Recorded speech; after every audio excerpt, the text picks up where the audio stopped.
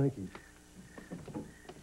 I realized that you weren't too pleased when I left you this afternoon. You hadn't even looked at one of those books I gave you on midwives, and yet you had the nerve to run to John and ask him to convince me to have our baby in a cold, sterile hospital bed. You were acting as if John is a stranger. John is not my husband.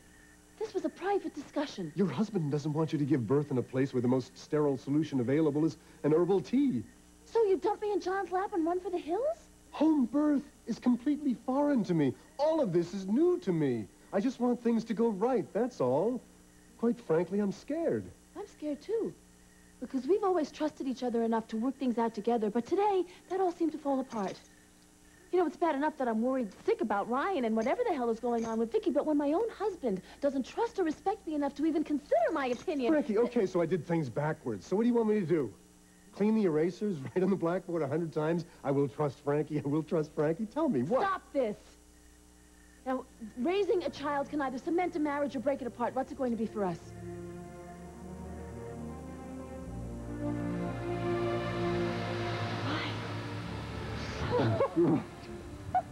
I can't believe I found you. Oh.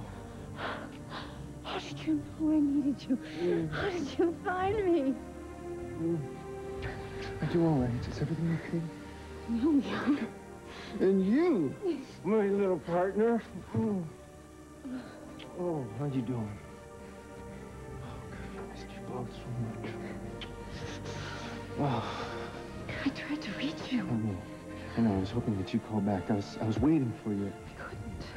Gran wouldn't let me. That's why I had to get out of there. I just, I just took Stephen and I just walked out of there. Yeah, well, you got one smart mommy, don't you, Stephen, huh? Yeah?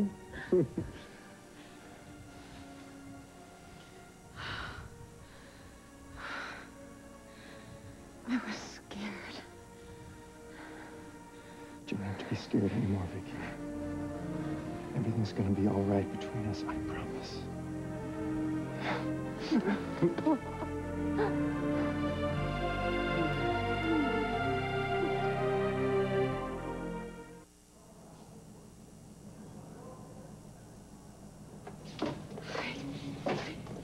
Friend I was trying to find, and look at this. Can you believe it? He's right here. Oh, yeah. Oh, you have much to tell him. I think you would like to be alone. Um, yeah, that would be nice. There's a small room to the back. Um, the boy can sleep. I will be engaged. Right, but, but we definitely don't want to miss our train. Oh, uh, the, the, I'm afraid there was an accident not far from here. The train won't be coming through until morning.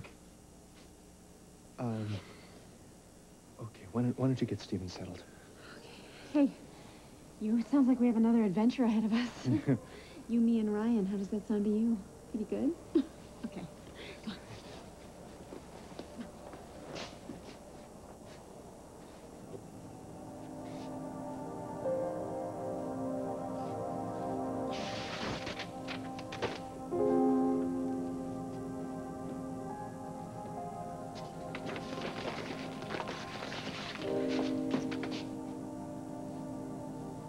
So he is, uh, singing Stephen a lullaby in German.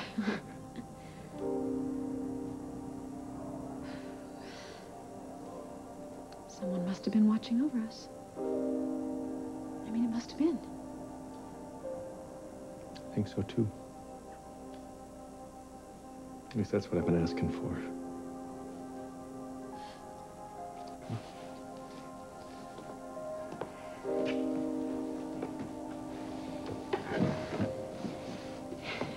Call you as soon as I got here, and just hearing your voice on the machine, you know, it made me feel like anything was possible. And then here you are. How? I got your letter.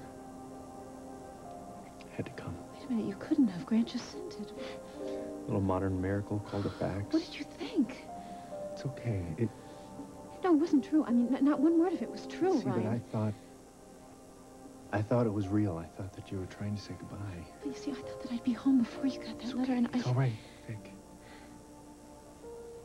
I, I knew that you were in trouble. I, I don't know how. I just felt it. Ryan, I didn't write that letter for you. I wrote it for Grant. Did Grant make you write that letter? I just... I had to do whatever I could do to make him believe all the things that he wanted to believe so that I could get out of there. It was really bad. I mean, you don't even...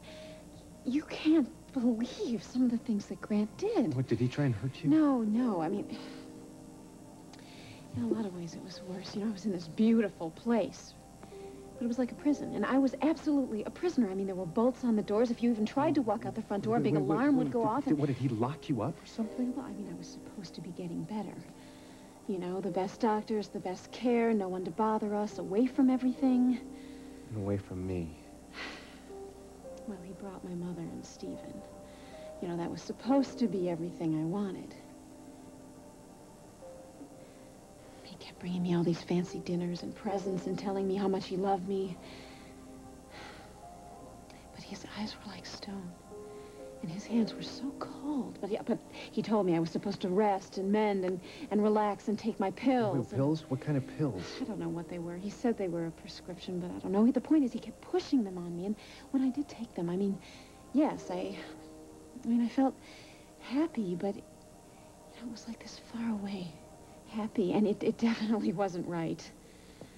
None of this, none of this is right. None of this should have happened. This whole nightmare never should have happened. The weirdest part was, I mean, he kept talking, you know, about our golden future together. He wanted to stay here forever. He wanted to totally give up the Senate. Yeah, I'm sure he believed every single word, every single lie. So the point is, I just, I knew I had to completely get out of there, and I couldn't confide in anyone. I mean, he had my mother totally convinced that this was all for my own good. I couldn't get her to believe me. Well, she does know. What? You mean you've already seen her? Yeah, where, the first where, thing where? I went, I went to the hospital. The first thing, she, um, she's really worried about you. Ryan, I could not trust her. Yeah, well, she knows what Grant has been doing now.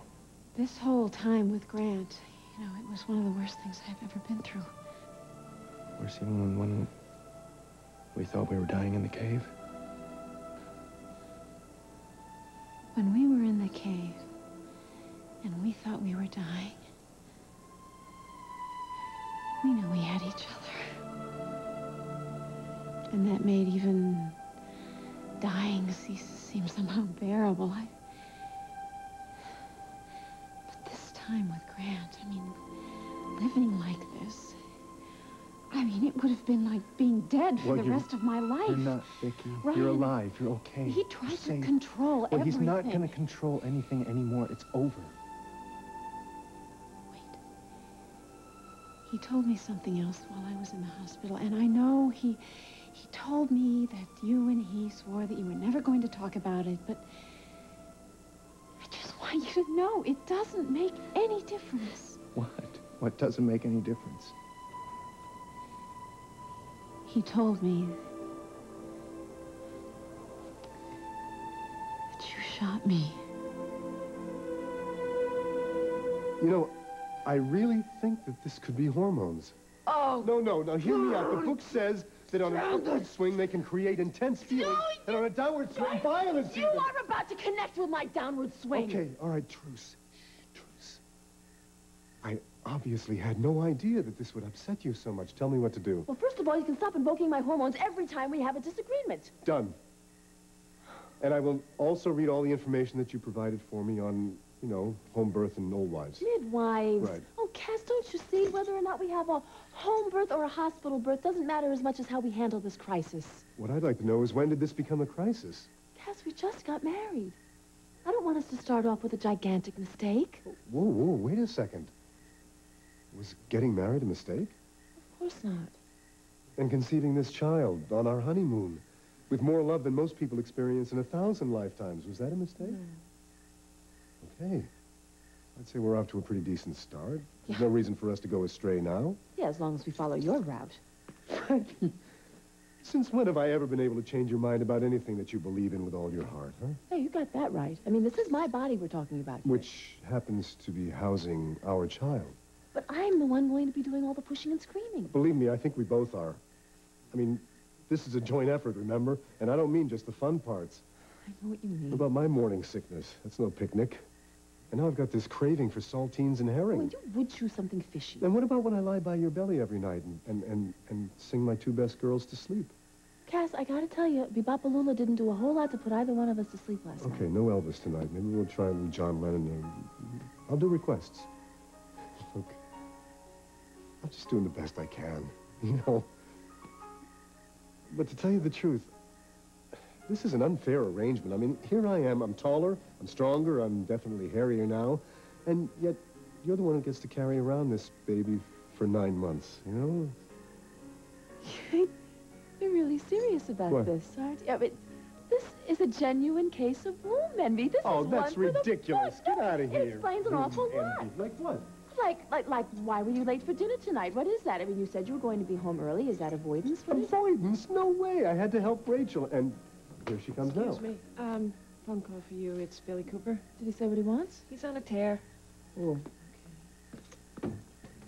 Well, you don't look so good. Are you all right? Oh. Uh, everything is proceeding by the book. I just wish I had written the book.